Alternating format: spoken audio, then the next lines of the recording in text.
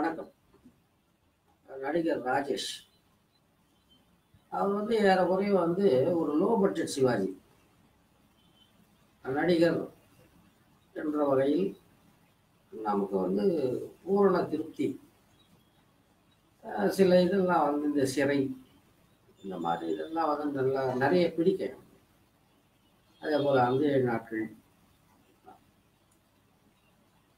இவர் வந்து இந்த ஜோதிடம் பற்றி ஏதோ ஒரு பத்திரிகையில் தொடர்லாம் எழுதிட்டு இருந்தார். அதெல்லாம் கூட படிச்சிருக்கு லைட்டாக ஞாபகம் இருக்கு. இந்த யூடியூப்ல வந்து இதுக்கு முந்தி ஒரு வருஷம் இருக்கலாம்னு நினைக்கிறேன். அப்போ ஒரு வீடியோ பார்த்தேன். இன்னைக்கு வந்து ஒரு சில வீடியோஸ் பார்த்தேன். நான் ஜோதிடத்தை நம்புகிறேன். ஜோதிடத்தை தொழிலாகவும் கொண்டிருக்கிறேன். அதெல்லாம் ஒரு பக்கம். மற்ற ஜோதிடர்களுக்கும் நமக்கும் உள்ள வித்தியாசம் என்னடான்னா மற்றவங்கெல்லாம் வந்து இது இவ்வளோதான் இது இவ்வளோதான் இதை எழுதி வச்சுட்டான் எவனோ. இது அவங்க ரூட்டு. ஆனால் என்னை பொறுத்த வரைக்கும்? ஜோதிடம் அப்படிங்கிறதே வந்து என்னடான்னா இந்த பாசிபிலிட்டிஸ்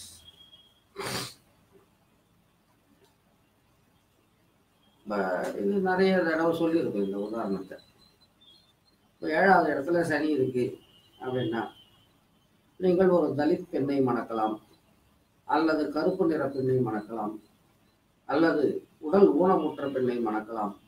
அல்லது மிக மிக ஏழையாக இருக்கும் பெண்ணை மணக்கலாம்.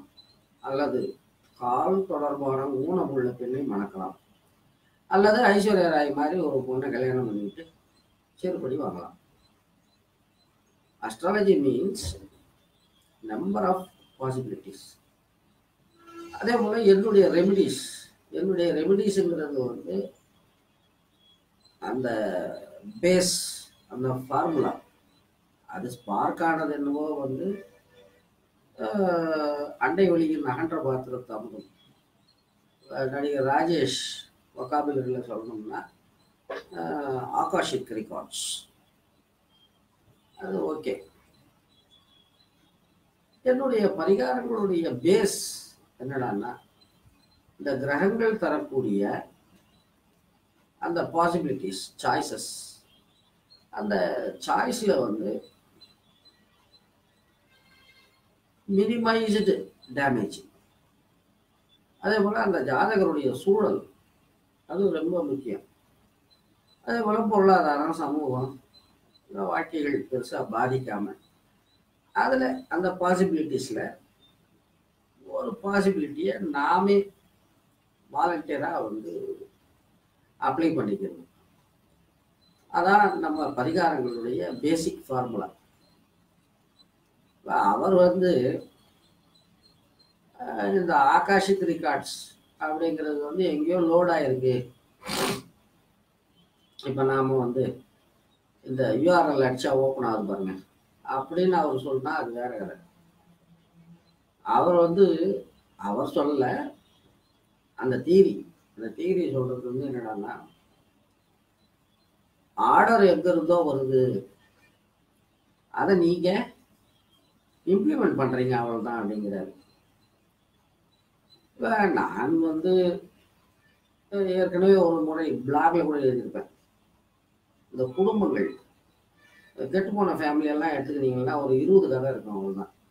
அந்த கதையை திருப்பி திருப்பி திருப்பி அப்போ போயிட்டுருக்கோம் பல லட்சம் குடும்பங்களுக்கு.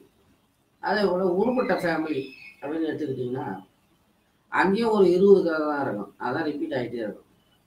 நான் வந்து அதை அப்படியே கொஞ்சம் டெவலப் பண்ணி இப்படி கெட்டு கீரவையாய் நாசமுத்து போனவங்களுடைய எண்ணங்கள் அதே போல உருப்பட்டு வாழ்வாங்கு வாழ்ந்த அந்த மனிதர்களுடைய எண்ணங்கள் இதெல்லாம் எங்கேயோ ஸ்டோர் ஆகியிருக்கு. இந்த ரேடியோவை டியூன் பண்ணுற மாதிரி நீங்கள் டியூன் பண்ணிக்கிட்டீங்கன்னா பாசிட்டிவோ நெகட்டிவோ நீங்கள் வந்து டவுன்லோட் பண்ணிக்கலாம். அப்படிங்கிற மாதிரி என்னுடைய தீரி தீரி மட்டும் இல்லை அனுபவம் கூட தான். இப்போ நான்லாம் வந்து ஒரே ஒரு ரெண்டு வருஷம்தான் ஒரே ஒரு ரெண்டு வருஷம் தான்.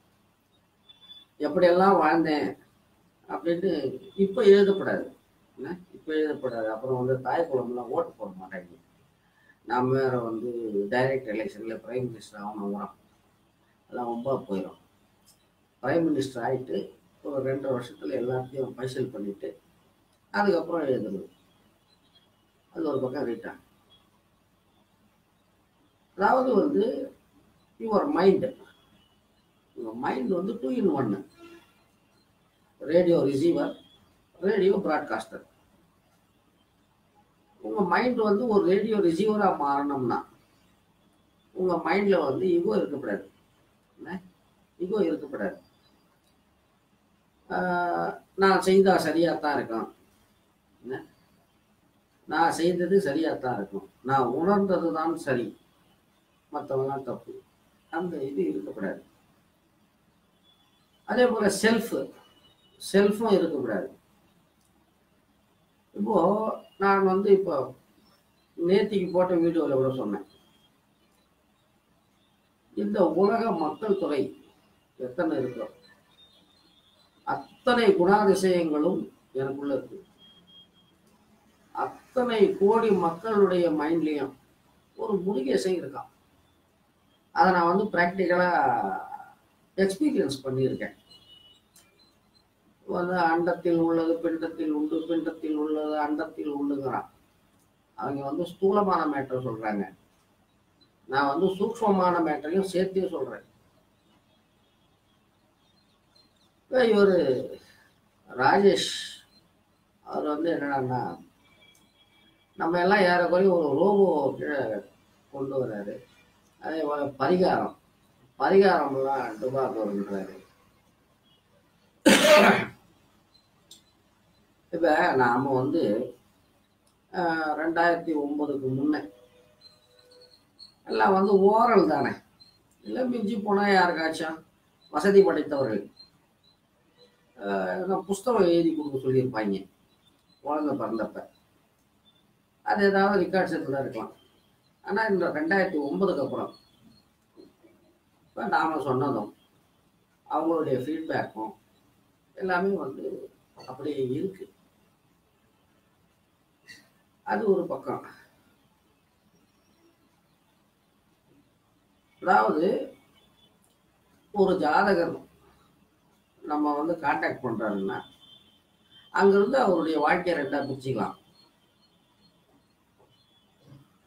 நாம சொன்ன பரிகாரங்களை செய்வதற்கு முன் செய்ய ஆரம்பித்ததற்கு பின். இப்போ நான்லாம் வந்து ஓப்பனாகவே சொல்கிறேன் எப்போ உனக்கு வந்து இப்போ நான் பரிகாரம் சொல்கிறதுனால நான் கடவுள் மாதிரி தோணுவேன்.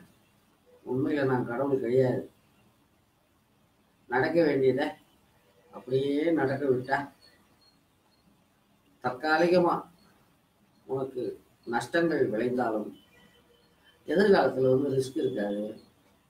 ஆனால் நான் சொல்கிற பரிகாரத்தெல்லாம் வந்து நீ செய்துக்கிட்டு வந்து இடையில வந்து விட்டாச்சுன்னா ரொம்ப போயிடும் நான் யோசனை பண்ணி செய் அப்படின்னு சொல்லி கொடுக்கணும். ஏன்னா நான் பார்த்துருக்கேன். இன்னும் நான் பார்த்துருக்கேன். பரிகாரங்கள் செய்யும்போது இப்போ நான் சொல்கிற பரிகாரங்களே வந்து என்னடான்னா காம்போ பேக் மாதிரி. லைஃப் டைம் சப்ஸ்கிரிப்ஷன் வாழ்நாள் பூரா தே ஹாவ் டு ஃபாலோ அது நாம் சொல்கிற பரிகாரம்லாம் வந்து செலவும் கிடையாது ஒரு வெங்காயமும் கிடையாது. தேவை என்னடான்னா ஒரு சின்சியாரிட்டி ஐயோ இந்த பரிகாரம் நமக்கு பலன் கொடுத்தது இல்லையா? இதை விடப்படாது. அப்படிங்கிற சின்சியாரிட்டி இருந்தால் போதும். அது ஒரு பக்கம் இருக்கா இதில் வந்து இந்த வாஸ்து வாஸ்து பற்றி அவர் வந்து ஒரிஜினலாக வாஸ்துப்படி வீடு கட்டணும்னா அது ஒரு அம்பானி அதானியால் தான் முடியும். அஹ் நம்மாலெல்லாம் முடியாது. அதெல்லாம் சும்மா அப்படிங்கிறாப்புல ஆனால் இப்போ நான் வந்து இந்த வாஸ்து அப்படின்னு ரகசியங்கள் அப்படின்னு இந்த எல்லா புத்தகத்துலேயும் ஒரு எபிசோடாவது இருக்கும். அதே நேரத்தில் வாஸ்துங்கிறது வந்து அல்டிமேட் சொல்யூஷன் கிடையாது. இதையும் சொல்லியிருக்கேன் வாஸ்துங்கிறது ஒரு ஃப்ரிட்ஜு நீங்கள் இழந்த பழமா? இழந்த பழமாக தான் இருப்பீங்க உள்ள. என்ன? காஞ்சி போயிடாம பச்சின்னு இருப்பீங்க அவ்வளோதான் நீங்கள் ஆப்பிளா ஆப்பிளாக தான் இருப்பீங்க. அது மாதிரி ஒரு வாஸ்துப்படி அமைந்த வீடு வந்து ஒரு ஃப்ரிட்ஜு மாதிரி அவ்வளோதான் அது ஒன்றும் மாயப்பெட்டி கிடையாது. வாஸ்துப்படி கட்டிய வீடு. இப்போ வந்து இந்த எல்லா மூலைகளும் இந்த ஆக்னேயம் நைருத்தி ஈசான்யம் இப்போ அந்த காலத்தில் வந்து இப்போ மாத்திரம் என்ன? இப்போ வந்து என்னடான்னா இது சும்மா ஒரு அபார்ட்மெண்ட் மாதிரி. ஒரு அது என்ன சொல்கிறது ஒவ்வொரு ஃப்ளோர்லேயும் வரிசையாக போர்ஷன்ஸ் இருக்கும். இப்போ அந்த கஷ்ட காலத்தில் வந்து எல்லாம் ஒன்று கொடுக்கணும். ஒரு வீட்டை பிரித்து விட்டுருப்போம். அதில் வந்து நாம் ஒவ்வொரு மூலையிலையும் வாழ்ந்துருக்கோம். ப்ராக்டிக்கல் எக்ஸ்பீரியன்ஸ் அது ஒரு இதில் வந்து நான் முரண்படுறேன். அதே போல் அவர் வந்து இந்த அது என்னது விஞ்ஞானத்துக்கு நான் எதிரி அப்படிங்கிறாரு. இப்போ அந்த காலத்தில் அதாவது ஆயிரத்தி தொள்ளாயிரத்தி எண்பத்தி ஏழில் என்னுடைய முதல் கதை பாக்யா வார இதழில் பிரசுரமாகுது அது வந்து தொண்ணூறுக்குள்ளே க்ளோஸு தொண்ணூறுக்குள்ளே வந்து ஒரு அஞ்சாறு கதை பப்ளிஷ் ஆயிடுச்சு பாக்யா வாசுகி அப்புறம் அப்புறம் கல்கி எல்லாம் அதுலேயும் பப்ளிஷ் ஆயிடுச்சு. இது நமக்கு வந்து என்னடானா நான் வந்து அப்டேட் ஆகிட்டே இருப்பேன். ஏன்னா அப்டேட் ஆகிட்டே இருப்பேன். கடைசியாக கதை எழுதுனது வந்து கவிதாச்சரணம் ஒரு ரேஞ்ச் தாண்டி போயிருக்கு அப்போ வந்து என்னடா ஆகும்னா அந்த மீடியாவுக்கு அது செட் ஆகாது. அப்படி எந்த மீடியாவுக்குமே செட் ஆகாத ரேஞ்சுக்கு போயிட்டேன். இப்போ கூட வந்து சிறுகதை தொகுப்பு ஒன்று போட்டிருக்கேன். இ புக்காக தான் என்னது ராதாவின் ராவுகள் பிராக்கெட்டில் நாற்பது அதில் வந்து ஒரு கதை இருக்கும். ஒரு குரங்கின் சுயசரிதைன்னு அது மாதிரி பைத்தியகாரத்தனமாலாம் கூட எழுதுவேன் நான் அதனால் அது ட்ராப் ஆயிடுச்சு ஒரு பக்கம். இன்னொன்று இந்த விஞ்ஞான முன்னேற்றத்துக்கு வரேன். இப்போ அதே ட்ரெண்டு கண்டினியூ ஆகியிருந்தா நான் ஒரு படைப்பாளி அப்படிங்கிறதே வந்து வெளி உலகத்துக்கு தெரியாமல் போயிட்டு இருக்கோம் இங்கே வந்து ஒரு விஷயத்தை வந்து நல்லா புரிஞ்சுக்கணும். எதுவாக இருந்தாலும் அது மெய்ஞானமாக இருந்தாலும் சரி விஞ்ஞானமாக இருந்தாலும் சரி எந்த வெங்காயமாக இருந்தாலும் சரி எல்லாமே வந்து இருபுறமும் கூர்திட்டப்பட்ட கத்தி மாதிரி. அதை எப்படி உபயோகிச்சுக்கிறதுங்கிறது நம்ம கையில் இருக்கு. வே எனக்கு வந்து இதான் பொழப்பு. இதான் பொழப்பு.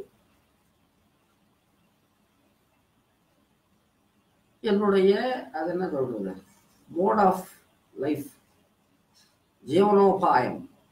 இதுதான். நான் ஏதோ வந்து இன்டர்நெட்டை கட்டி மாறடிச்சா ஃபோனை கட்டி மாறடிச்சா ஒரு லாஜிக் இருக்கு. கன்சியூமர் மற்றவங்கலாம் வந்து கன்சியூமர் கன்சியூமருங்கிறவங்க வந்து அதுக்கும் ஒரு டைமை போட்டு அதை ஒழுங்கு மரியாதையாக உபயோகிச்சா பிரச்சனை கிடையாது. வேற அவனும் தம் அடிக்கிறேன். ராத்திரி ஒன்பதுக்கு மேலே அடிக்க மாட்டேன். அது என்ன வேணால் அர்த்தம். ராத்திரி ஒன்பதுக்கு மேலே அடிக்க மாட்டேன். நானும் டீ சாப்பிட்றேன். சாயந்தரம் ஆறுக்கு மேலே டீ சாப்பிட மாட்டேன். அப்படி ஒரு சுய கட்டுப்பாடு அவர் வந்து எல்லாத்தையும் விமர்சிக்கிறார். சரி பார்ப்போம். ஏஜ். நமக்கு இப்போ 52 தான் ஆகுது. அவருக்கு என்ன வயசு தெரியல. அந்த வயசு வரும்போது நாம் எப்படி பேசுவோமோ தெரியாது. பார்ப்போம். நன்றி வணக்கம். சித்திரம்